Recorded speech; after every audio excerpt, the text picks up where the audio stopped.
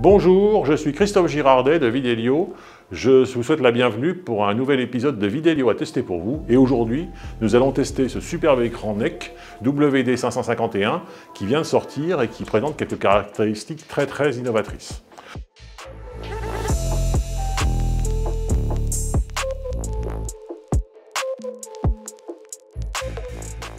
Première caractéristique importante, c'est un écran tactile 55 pouces qui utilise une technologie tactile capacitive projetée, l'équivalent de ce que vous avez sur vos téléphones mobiles ou sur vos tablettes, sans bord et donc avec une très très grande précision d'utilisation.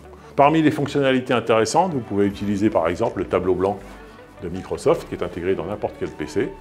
Donc j'ai mon PC connecté, j'active le tableau blanc et devant les équipes, je vais pouvoir travailler sur mon tableau blanc pour pouvoir utiliser mes fonctions et travailler sur mes schémas.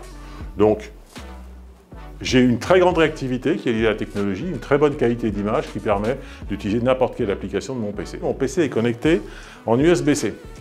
Ça veut dire que, en même temps que mon PC distribue ces informations à l'écran et sur lesquelles je peux travailler, mon PC se recharge automatiquement pendant ma présentation. Deux éléments importants au niveau environnement de ce système. Le premier, c'est que ce produit fait partie d'une alliance qui s'appelle ClickShare Alliance Partner Community. C'est nouveau dans le monde SharkNeck. Ça veut dire qu'il y a une compatibilité entre ce produit garanti et les ClickShare Barco. Le deuxième élément, c'est que c'est un produit qui fonctionne dans l'écosystème Microsoft à travers deux axes. Le premier, c'est l'interopérabilité avec Teams, mais ça on va le voir après.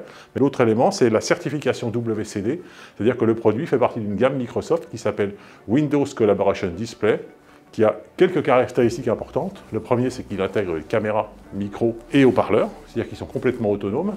Ça veut dire également que les systèmes intègrent des capteurs de luminosité, de présence, de CO2, qui permettent de récupérer de l'information et de la redistribuer sur des applications tierces. Donc, petit détail important qu'il faut souligner, WD551 est compatible avec Teams.